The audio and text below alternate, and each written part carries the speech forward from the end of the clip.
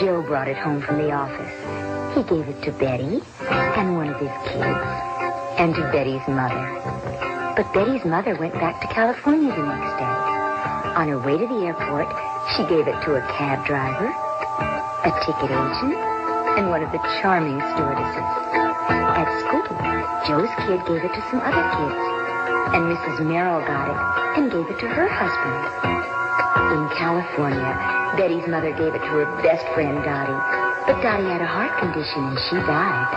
But before she died, Dottie gave it to her girlfriend, the mailman, the paper boy, and the vet when she went to pick up her chihuahua.